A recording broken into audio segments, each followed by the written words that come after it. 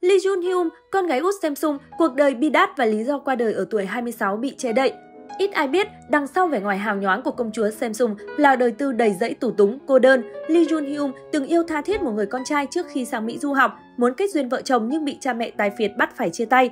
Nhìn vào cuộc sống hào nhoáng của con cái của các nhà tài phiệt, không ít người đều từng một lần ghen tị với sự may mắn của họ khi sinh ra ở vạch đích. Không chỉ được hưởng thụ cuộc sống sung túc về vật chất, họ còn được trang bị nhiều kỹ năng, tri thức, những mối quan hệ mà người thường khó có thể gặp được. Tuy vậy, ẩn đằng sau những sự xa hoa, danh vọng ấy lại là những áp lực đáng sợ với những ai không đủ mạnh mẽ. Chính những áp lực đó có thể là cọng rơm để chết con lạc đà.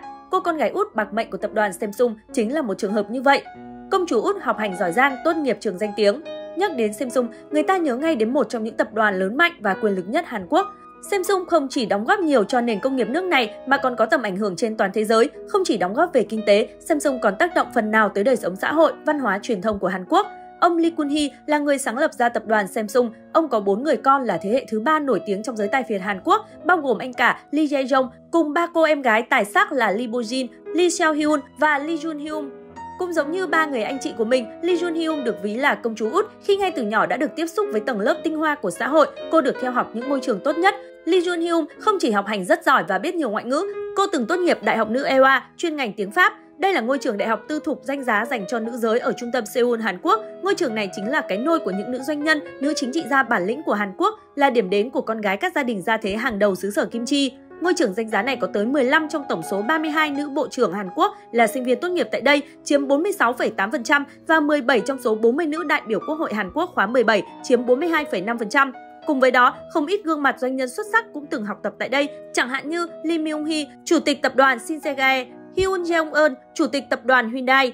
Bản thân công chúa út của Samsung sau khi tốt nghiệp Đại học Ehwa còn tiếp tục đi du học Mỹ, học cao học ngành quản trị nghệ thuật tại Đại học New York, một trong những đại học tư thục phi lợi nhuận lớn nhất nước Mỹ. Điều này cho thấy Lee Jun Hyun được gia đình tạo điều kiện để tiếp cận nền giáo dục chất lượng cao ngay từ khá sớm. Lúc sinh thời, cô rất được bố mẹ cưng chiều. Năm 14 tuổi, cô đã được gia đình mua cổ phần trong Samsung. Đến năm 2003, cô đã sở hữu khoản cổ phần lên tới 191 triệu USD ở thời điểm bấy giờ. Cuộc sống ngắn ngủi như đóa hoa xinh đẹp nhưng vội tàn ở tuổi 26.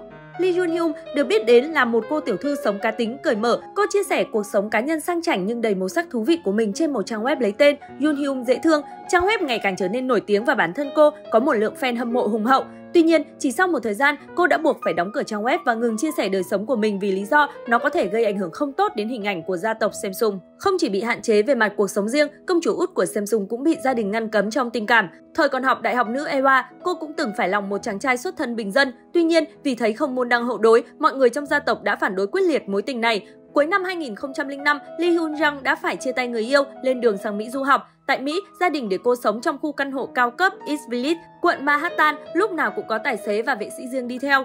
Cuộc sống tại Mỹ ngắn ngủi đến bất ngờ khi chỉ kéo dài trong 11 ngày.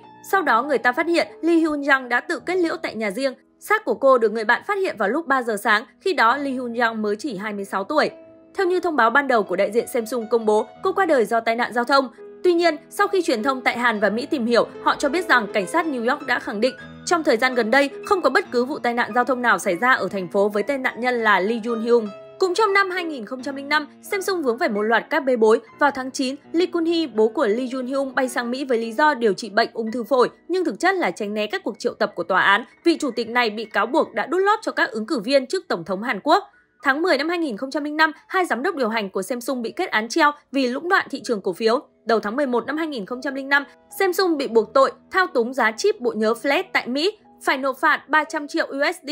Giữa cơn bí cực, Lee Kun-hee lo lắng sự thật về sự ra đi của con gái út sẽ ảnh hưởng tiêu cực tới tập đoàn. Ông cố ý che đậy vụ việc, lấp liếm bằng một tai nạn xe hơi không có thật. Sau tất cả, Samsung cuối cùng đã lên tiếng xác nhận rằng tiểu công chúa qua đời do tự kết liễu vào ngày 19 tháng 11 2005. Suốt thời gian ở Mỹ, Lee Jun Hyun đã rơi vào trầm cảm nghiêm trọng. Cô thường tự nhốt mình trong nhà và bốn bức tường cô quạnh, thậm chí một tuần không bước ra đường. Nguyên nhân chính được cho là do nỗi đau quá lớn từ mối tình bị gia đình cấm cản. Tang lễ của Lee Jun Hyun được tổ chức một cách lặng lẽ với sự tham dự của anh trai và hai chị gái cô. Đáng buồn hơn, bố mẹ cô dù đã có mặt tại New York nhưng không thể đến đưa tiễn con gái vì theo văn hóa Hàn Quốc, bố mẹ không dự đám tang con cái nếu họ qua đời mà chưa lập gia đình.